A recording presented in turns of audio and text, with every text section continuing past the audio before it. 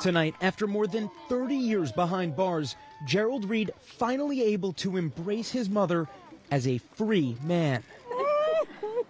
Reed released from Stateville Correctional Center this afternoon after Governor J.B. Pritzker commuted his life sentence to time served. I appreciate the governor letting me go because I'm going to show him it was mm-hmm. worth it. In 1990, Reed was convicted of double murder, but over the last three decades, he has maintained his innocence, saying Chicago police detectives working under disgraced former commander Jon Burge broke his leg to force a confession. I would not say I'm guilty to something that I didn't do. The 57 year old now free from prison, but still guilty under the law.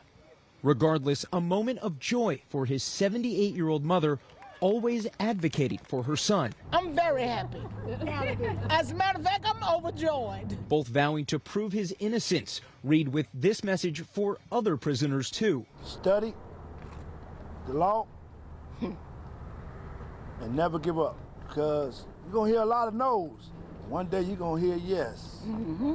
Tonight, Gerald Reed will be staying with his niece in Naperville. Meanwhile, his attorney says that he has filed a motion with the state Supreme Court hoping to have Reed's convictions vacated, what the legal team hopes will be the next step toward Reed's full exoneration. Hey, if you like that video, be sure to subscribe to our ABC7 Chicago YouTube channel.